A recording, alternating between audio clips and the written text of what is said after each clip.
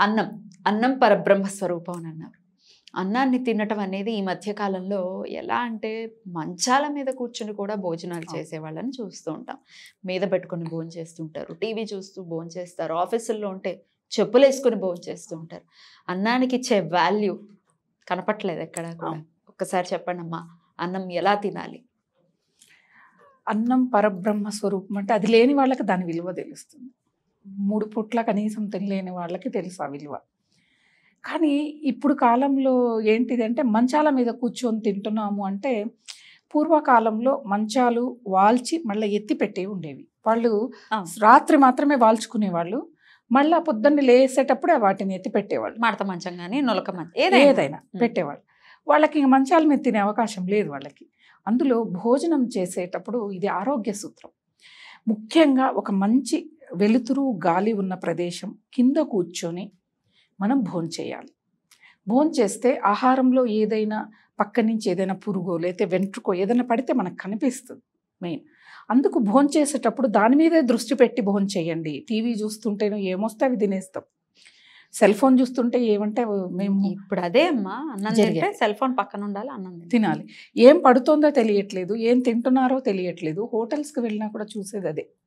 హోటల్స్లో అయితే మరి దారుణం ఉంటుంది డిమ్ ఉంటుంది లైట్. ఉంటుంది. ఏం పెట్టాడు వీళ్ళు ఫోన్ చూస్తూ భోంచేస్తారు. వాడు ఏం పెట్టాడు దానిలో ఏం కలిసిందో ఏమీ చూడట్లేదు.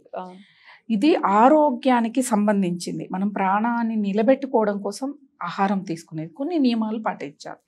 మంచం మీద కూర్చొని భోంచేసాము భోంచేస్తున్నప్పుడు ఏదైనా ఎవరైనా వచ్చారు ఏదన్నా చేత్తో ఇలా అలికిడి చేసాము ఆ మెతుకులు పరుపుల మీద పడతాయి మన మీద పడతాయి.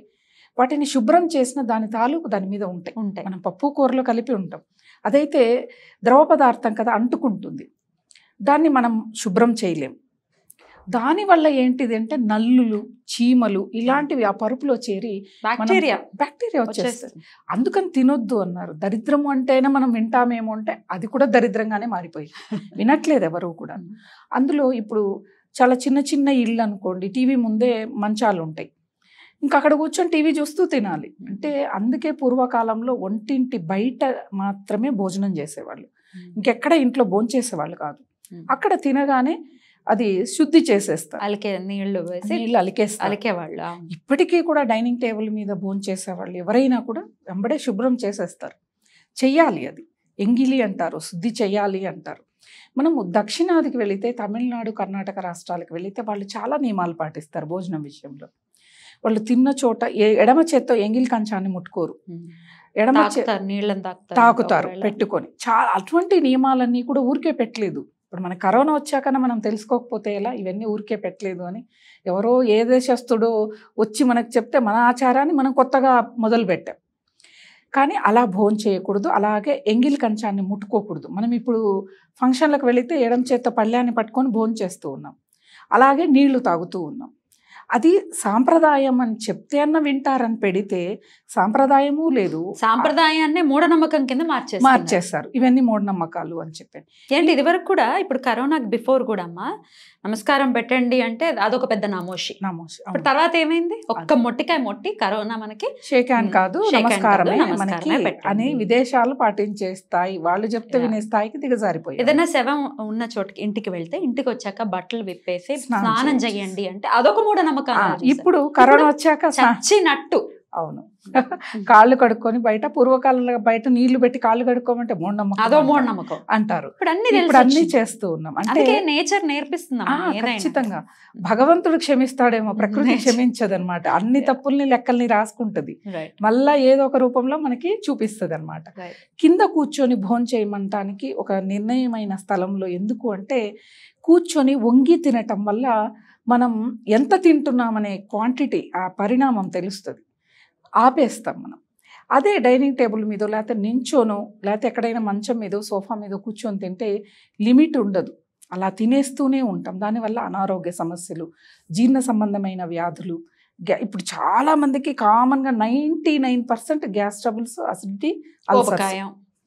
లావ్. ఇవన్నీ లావ్. నైంటీ నైన్ వన్ పర్సెంటే హెల్దీగా ఉన్నారు. ఆ గ్యాస్ ట్రబుల్ లేని వాళ్ళు వన్ 1% పర్సెంటే ఉంటారు. వాళ్ళు కూడా ఏమో డౌటే డాక్టర్లకు తెలుస్తుంది అది. ఇలా కింద కూర్చోవటం వల్ల మనం తినే ఆహారంలో గ్యాస్ వెళ్ళదు. ఇలా తింటూ ఉన్నప్పుడు గ్యాస్ వెళ్ళిపోద్ది గాలి.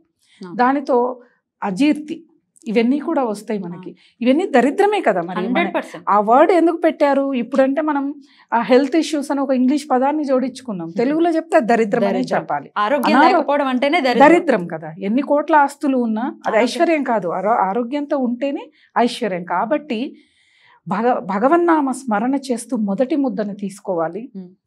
భగవంతుణ్ణి ఆలోచిస్తూ వాళ్ళ గురించే చూస్తూ ఆహారాన్ని తీసుకోవాలి. అంతేకాని మనము చాలామంది ఒకసారి నేను కూడా పిల్లలు తింటూ ఉంటే సరే నేను కూడా టీవీ ఆన్ చేసి తింటూ ఉన్నా.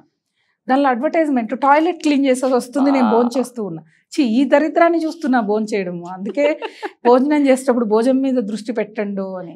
టాయిలెట్ క్లీన్ చేయటము లేకపోతే జరుగుతుంది. అందుకే టీవీని చూడొద్దు భోజనం చేసేటప్పుడు అంటారు. ఆ దరిద్రాలు చూస్తూ తినకూడదు. వామిటింగ్ వస్తుంది. ఆ అసహ్యం అసహ్యంకరంగా ఉంది. ఉంటది కదా. అందుకే పూర్వకాలంలో ఏంటిదంటే పెరట్లో కూర్చొని భోంచేసేవాళ్ళు. ప్రకృతిని ఆస్వాదిస్తూ పచ్చని చెట్లను చూస్తూ భోంచేసేవాళ్ళు. ఇప్పుడు ఏమున్నాయమ్మా? ఇప్పుడు లేవు. లేనప్పుడు కనీసం భోజనం చేసేటప్పుడైనా కూర్చొని శుభ్రంగా కొన్ని నియమాల్ని పాటిస్తూ ఆరోగ్యకరమైన భోజనాన్ని భోంచేస్తూ మొదటి ముద్ద భగవంతుడికి అర్పించి మనం దాన్ని ప్రసాదంగా స్వీకరిస్తూ పండించిన- పండించిన వాడు సుఖంగా సంతోషంగా ఉండాలి అని వాడికి కృతజ్ఞత చెప్తూ ఆహారాన్ని స్వీకరిస్తే జన్మలో ఎటువంటి పరిస్థితిలో కూడా ఆహారానికి లోటు అనేది ఉండదు. కృతజ్ఞత ప్రధానం మనిషికి ముందు. కొంతమంది అమ్మ కోపం వస్తే కంచాలను. ఇసిరేసేస్తూ ఉంటారు. చూస్తుంటే చాలా బాధ అనిపిస్తుంది. ఎంత అలక్ష్మి అది. ఎంత విలువలేని నేను చాలా. మందిని చూశాను. అలా అన్నం కొంచెం విసిరేయటము అవన్నీ వాళ్ళు తర్వాత చాలా దరిద్రాన్ని అనుభవించారు. ఎందుకు వచ్చాయంటే ఇగో ఇలాంటి ఇలాంటివే. ఎందుకంటే దాన్ని నిర్లక్ష్యం చేసినట్లు దాని పట్ల శ్రద్ధ లేదు మనకి భక్తి లేదు. ఇప్పుడు ఒక్క అన్నం మెతుకు ఆ గింజ పండించడానికి రైతుకి సంవత్సర కాలం పడుతుంది. మనం మనం చూస్తే సంవత్సరం కాలం కాకపోయినా ఆరు నెలలు ఖచ్చితంగా పడుతుంది. ఎంత కష్టపడతాడు రైతు? అది లేని వాళ్ళకి తెలుసు ఆ విలువని? ఎందుకంటే ఇప్పుడు చాలా మటుకు ఫేస్బుక్లో ఇలా రోడ్డు వెంబడి ఆకలితో ఉండే వాళ్ళకి ఆహారాన్ని అందించే వాళ్ళని. కరోనా ఎంత ఇబ్బంది చాలా ఆకలి. ఆకలి చావులు ఎక్కువైపోయాయి ఎక్కువయ్యాయి ఆత్మహత్యలు ఎక్కువయ్యాయి పిల్లలకి ఆహారం పెట్టలేని పరిస్థితులు వచ్చి ఆర్థికంగా క్షీణించిపోయి ఇబ్బందులు పడ్డారు. అంటే మనం చేసే నిర్లక్ష్యమే మన జీవితంలో మన భవిష్యత్ అనేది నిర్ణయిస్తుంది. నిర్ణయిస్తుంది ఖచ్చితంగా. చాలా వరకు అంటే సీరియల్స్లో సినిమాల్లో కూడా కంచాలు ఇసిరేయడం చూస్తున్నాం. అది డూపో ఏమో తెలియదు కానీ బాధేస్తుంది. అరే మీరు ఎంత యాక్టింగ్ కోసం చేసిన ఆహార పదార్థాలని విసిరి కొడుతున్నారే? ఆ ఆహారం లేని వాళ్ళు ఎంతో మంది ఉన్నారు కదా అని చెప్పాను. అంటే వాళ్ళు ఒరిజినల్గా చూపిస్తున్నారో తెలీదు. అవేవో ఊరికే ఇప్పుడు మనకు అన్ని ఆర్టిఫిషియల్ దొరుకుతున్నాయి. అవి తెచ్చి చూపిస్తున్నారో తెలియదు కానీ బట్ దాన్ని ఇన్స్పైర్ అయిపోయి దాన్ని చూసి. ఇన్స్పైర్ అయిపోయి అదే చాలా మంది. ఫాలో అవుతున్నారు. కోపాన్ని భోజనం చేసేటప్పుడు అందుకే మాట్లాడొద్దు అంటారు. మాట్లాడడం వల్ల కొన్ని గొడవలకు దారితీసి ఇలాంటి పరిణామాలకు దారితీస్తాయి కాబట్టి భోజనం చేసేటప్పుడు ఒక నిర్ణీతమైన స్థలము నిర్ణీతమైన సమయము ఆహ్లాదంగా సంతోషంగా ఆనందకరంగా ఆహారం పట్ల భక్తిని చూపిస్తూ శ్రద్ధని చూపిస్తూ ఆహారాన్ని బాగా నమిలి మింగి సమయాన్ని తీసుకోవాలి భోజనం నిదానంగా చేయాలి స్నానాన్ని తొందరగా చేయాలి అంటారు. అలా చేస్తే భోజనాన్ని అది ఆరోగ్యం మనకి దాని పట్ల మనకు భక్తి విశ్వాసం భగవంతుడు చూస్తూ ఉంటాడు ఇప్పుడు అన్నపూర్ణాదేవి అంటున్నాం. ఆవిడ ఎంత సంతోషిస్తుంది ఇన్ని నియమాలు పాటిస్తూ భోంచేస్తే 100%. ఎక్కడంటే అక్కడ ఇల్లంతా తిరుగుతూ భోజనం చేయకూడదు చాలా. మంది పళ్ళాలు పట్టుకొని ఏదైనా పని ఉంటే తిరుగుతూ భోజనం చేస్తారు ఇప్పటికి కూడా ఏదైనా ఒంటి గంట నుంచి రెండు లోపు ఫోన్లు వస్తే నేను ఫోన్ ఎత్తకపోతే చాలా మంది మీరు భోజనం చేస్తున్నారా అని అడుగుతారు.